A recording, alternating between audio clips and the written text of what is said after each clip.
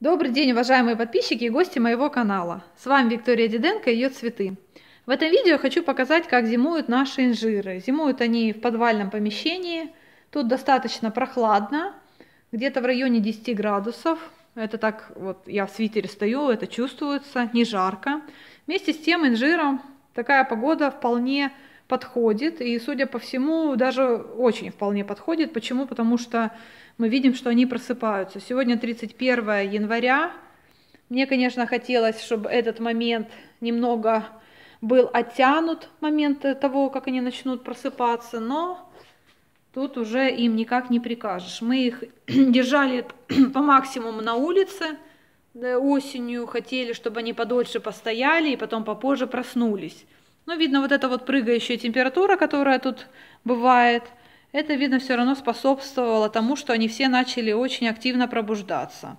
Ну, кто-то еще такое еще как бы думает, как бы только почечки начинают набухать, а некоторые экземпляры вот уже вот туда-сюда и листик развернется.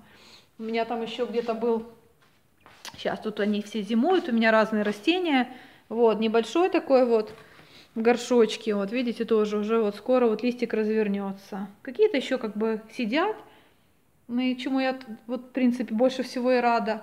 Ну так основная часть вот начинает пробуждаться. Значит, полив у нас э, этих инжиров очень редкий. Мы редко их поливаем.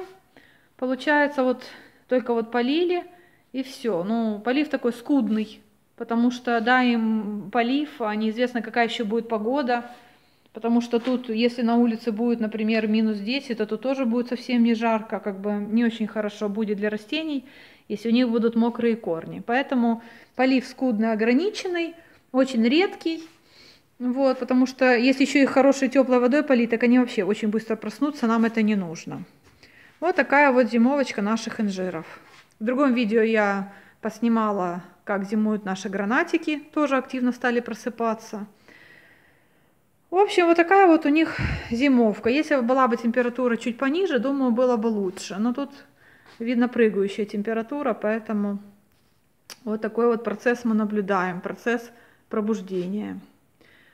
Ну, вроде пока все, что я хотела показать по инжирам. Всем пока!